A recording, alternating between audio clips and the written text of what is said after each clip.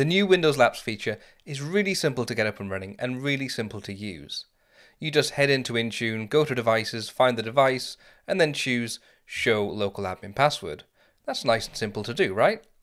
But what if you're walking down a corridor and someone grabs you saying they need to get into their computer and you need to get the LAPS password? You can't run back to your desk, you can't bring your laptop over, you just need to get it there and then. Do you call someone and ask for help? What if you don't know the, the, the user's device name? All those questions come into play when you actually start using LAPS in real life.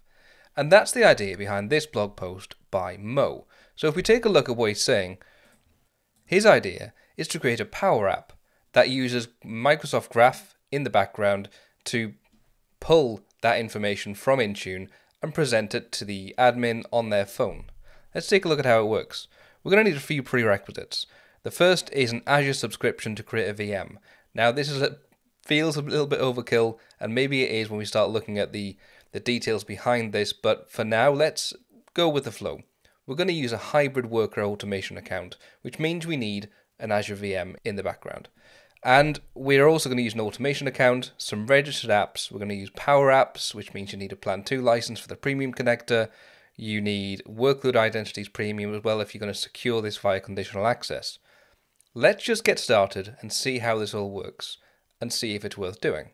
So first we're going to create an Azure VM. Now I'm, you can see I'm running through this blog post. It's very detailed and very clear how this works, but I'm a video person, so I'm going to go through this with you step by step right now. So as you can see, we're going to create uh, an Azure VM. So this one here, I've got a VM and it is, well, it's running, right? It's it's a standard virtual machine. I've called it Laps Automator because, you know, it sounded like a good idea. Uh, and let me just grab the VM itself. You need to install the Graph, the MS Graph uh, PowerShell module. So I'm not going to do it again, but you can see in the guide, it says install the Graph PowerShell module by running these two commands here.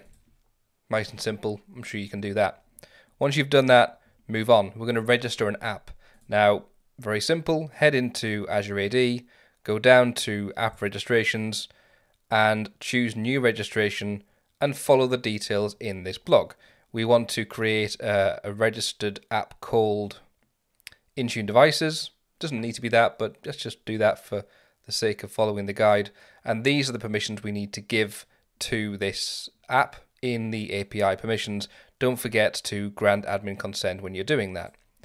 So once you've done that one, you need to create a second application, and this one we're going to call Windows LAPS, and we need to give these permissions here, and that is device read all and device credential read all.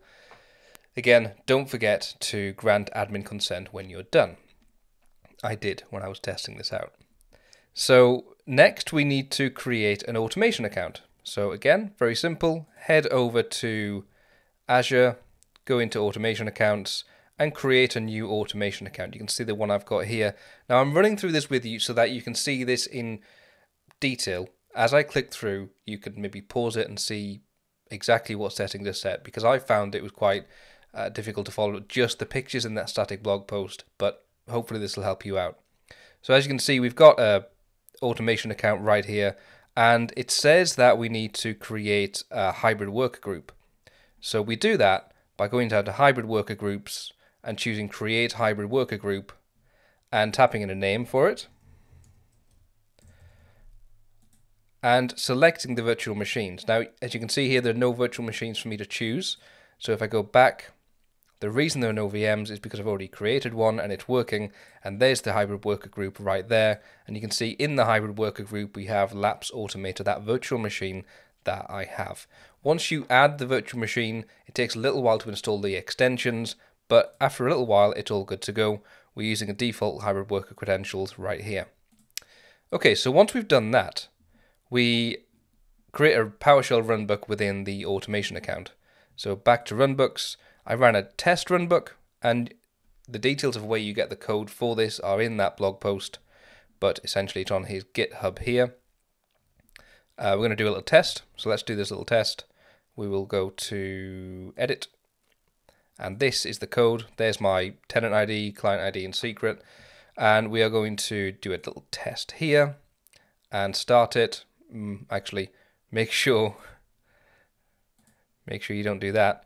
We're going to go back to test, choose hybrid worker, make sure you've got the hybrid worker chosen, and once it's finished, I'll restart that, and we should hopefully see welcome to Microsoft Graph. There you go. So that's all this test one does. It just verifies the connection to the hybrid worker.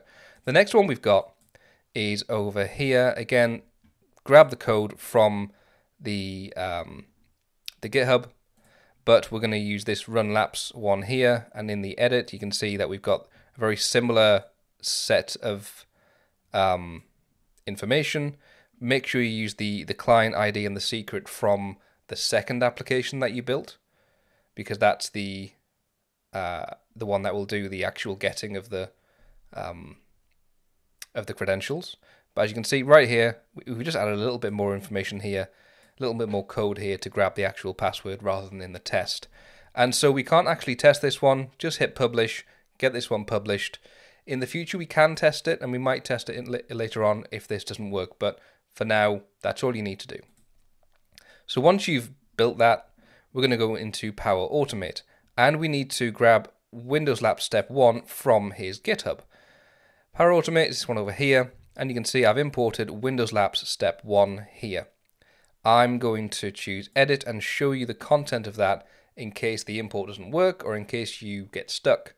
There's nothing in Power Apps at all because it just takes the information from the Power App. In Get User, this should be already preset, but it's Get User. Then HTTP, we have this information here. I did need to add this information, the tenant ID, the client ID, and the secret, because they weren't pulled from anywhere else. So I've done that. I've added those in. Then we pass the JSON, and that's the information there. And then finally, we send a response back as a value to, well, it's just a response back out of this. And so once we've done that, head back to the blog post, and we can, oh look, he's called me out. We can um, we can grab Windows Lab Step 2, which doesn't work on an import for some reason, so we have to create that from scratch. Again, step-by-step -step instructions here how to create it. What I'll do is show you how it looks when you create it, which is back in Flows, Windows LAPS Step 2. I'll choose Edit. And obviously I've already built this one, but when you're doing it from scratch, these are the settings you need. Compose, set compose inputs from the Power Apps step Create job. Here's the information I added, and it's all in the blog post. It makes a lot of sense. Just create outputs. The parameter for outputs from the previous step. In the get job output, very simple. Add this information here and use the job ID. Then compose. Need to do a little bit of replacing and uh, change the remove the welcome to Microsoft graph line that gets added when you start any Microsoft Graph code. Um, so we just use this bit here. Let me just scroll to the right. We just replace welcome to Microsoft Graph with nothing. So it's, uh, where's the replace? It is string replace text, old text, new text. So there's the old text and there's the new text. Works very well. So once we've done that, we then head back to the blog post. That's that done. And now we can import the Power App. So we grab the Power App, go to Apps, import Canvas app, and just upload that app that you download from Moe's GitHub. Once you've uploaded it, take a quick look through this. You need to specify create as new and it'll create a new Power App for you rather than trying to find Moe's one. Then we need to update Windows Lab Step 1 and then also add the Azure AD connection for your tenant. Then after updating the, uh, the after importing the app, we can set these connections, allow these connections to work, and then we have to add finally this flow to the Power App by choosing this flow button and then choosing Windows Lab Step 2. And that's it. And so now we're going to take a look at how it works. So over to Power Apps. I've already done all of that. Just going to go into Edit. And there is the Power App. I'm going to zoom in a little bit And what you can see is that we have a, a field here for finding the items, and you'll see what that means in a minute. And then we have a field here on the right hand side for the output of that, and then find the device and get laps. Let's play this and see how it works. So on the left hand side, we've got find items. As you can see, we have a scrollable list here of the users that are found within the environment. Let's find me. Now there's two of me, so that's not ideal, but I found the right one, dean at lastcoffee.co.uk. I will choose find the device, and if after a few seconds it will pick up the two devices that are registered to me within the tenant, and I have the Alienware and I have my VM 0. Now if I choose get laps, it will go away and query Azure AD and pull back the laps admin password for us. And after literally five or six seconds, you can see the laps admin password is populated. Very simple to publish this application, get it out to your admins, and see if they can use it to get laps admin passwords. Now, obviously, you should, you can, and should secure this using conditional access, and the information is in Moe's blog post as to how to do that.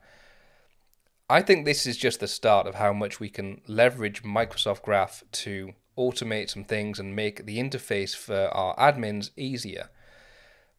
You know, maybe a, a Teams app or, or a Teams uh, dynamic card or something to, to allow admins to query Intune without actually having to go into Intune. Massive shout out to Andrew Taylor because he pointed me at the blog post from Moe, and I think this is an awesome solution. So thanks, Moe. See you next time.